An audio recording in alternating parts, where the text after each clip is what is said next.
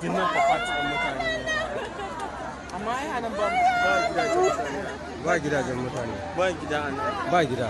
Da yasa ni kwata-kwata bana hawa ma wani sayan guri a nan yanki ba da wani amfani a nan amma ya ina ga amma ina ga ƙaramin jirgi ne ko?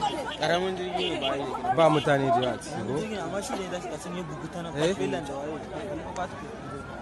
ni ina ciki na ji wani kara ya yi yawa. Ni na ga ma akwai wani filin bol na tsakiyan ko? Tun daga nan da ya yau kwanan nan ya kamata an ji Allah ya kiyaye mu an an wannan Allah ya kiyaye mu. Tun a filin bol din ya kamata tun a filin bol din ya kamata ce Allah ya kiyaye. Mutane ba su san halin wannan hayakin ba. Wannan higa hayaki kansa a nan hika mutu.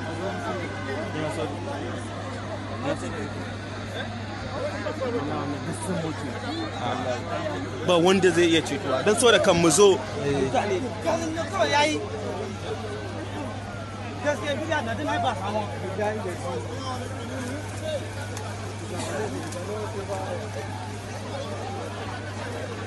What's going on in Benin?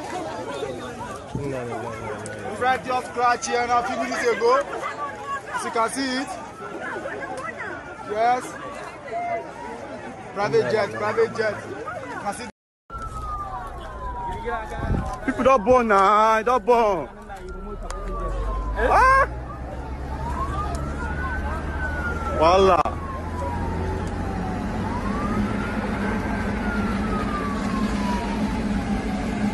Jana, they don't die. Don't die.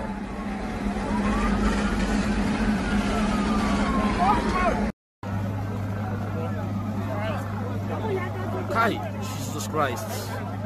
This is bloody. Dead bodies.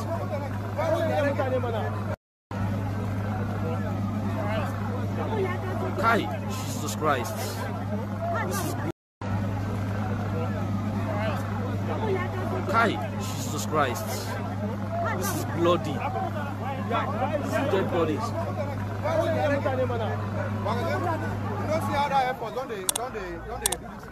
Shit, shit, shit, shit, shit.